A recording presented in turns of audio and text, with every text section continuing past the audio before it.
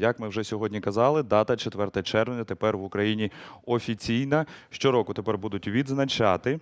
І, е, як ми казали раніше, Міжнародний день пам'яті безневинних дітей і жертв агресії та День пам'яті дітей, що постраждали від російської агресії під час війни.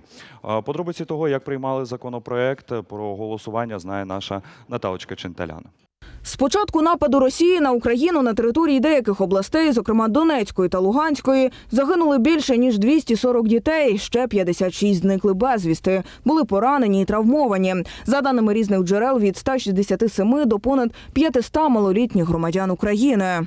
В день захисту дітей 1 червня спільним голосуванням Верховна Рада ухвалила проект щодо вшанування пам'яті дітей, які загинули від російської агресії проти України. За постанову проголосували 308 депутатів з восьми українських партій. Слуга народу 208, опозиційна платформа за життя 0, Європейська солідарність 23, Батьківщина 20, партія за майбутнє 17, голос 16, довіра 15, позафракційні 9. Цікаво, що 4 червня відзначають ще й міжнародний день безневинних дітей, жертв агресії згідно постанови Генеральної асамблеї ООН від 19 серпня 1982 року. Вона покликана також на охорону та захист дітей. Російсько-українська війна і досі триває.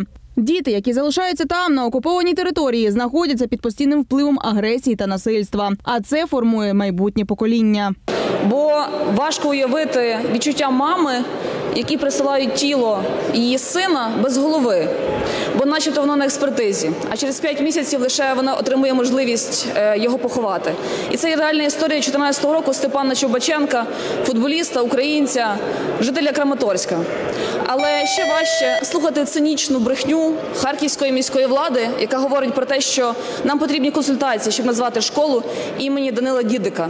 Цей хлопець загинув під час теракту у мирні часи Харкова. І зараз досі відкритим залишається питання, чи присвоювати звання харківській школі імені Данила Дідика. У багатьох депутатів та правозахисників ця ситуація викликає велике обурення, непорозуміння.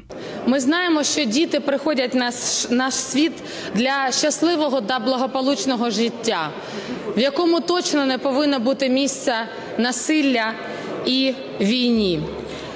Життя створене для того, щоб відкривати для них шляхи перемоги і можливостей.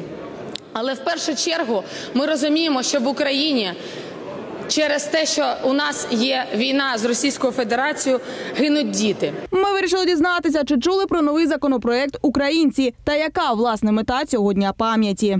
актуалізувати е,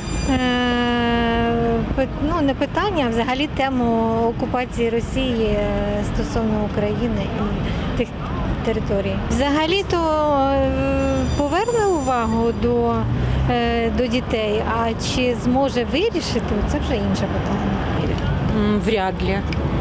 Ну, а смысл, если вы хотите помогать, то вы помогаете этим деткам, помните и э, уделяете этому время. А просто выпустить очередной законопроект, который ни к чему не приведет, просто поговорили и разошлись, это ни о чем. зменшити знищення дітей від окупації, невинних дітей.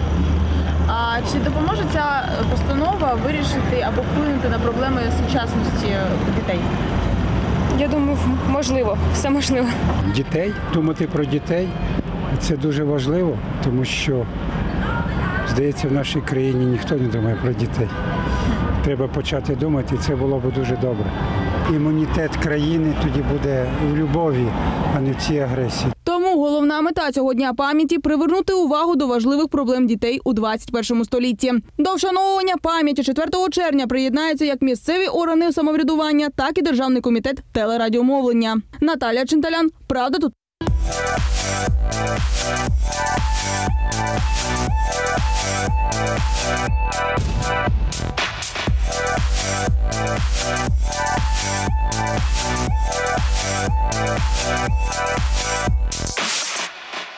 Кожне наше інтерв'ю, яке ви дивитесь на нашому youtube каналі Правда тут медіа, базується на трьох китах. По-перше, це актуальність, по-друге, це користь, а по-третє, це емоційність. Такого матеріалу у нас багато. Підписатися на youtube канал Правда тут медіа обов'язково. А для того, щоб не впускати свіжу інформацію, вам треба дзенькнути в дзвіночок і бути в центрі всіх подій. Чекаємо вас на нашому youtube каналі.